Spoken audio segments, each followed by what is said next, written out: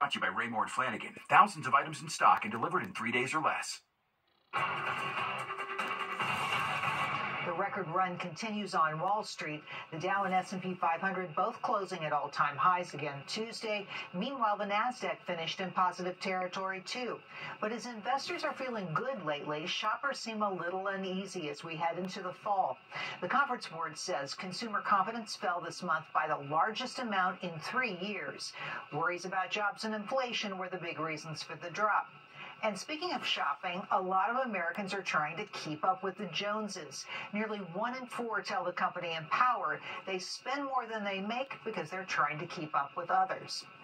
And finally, if you think you're spending a lot of money on food for your fur babies, you're probably barking up the right tree.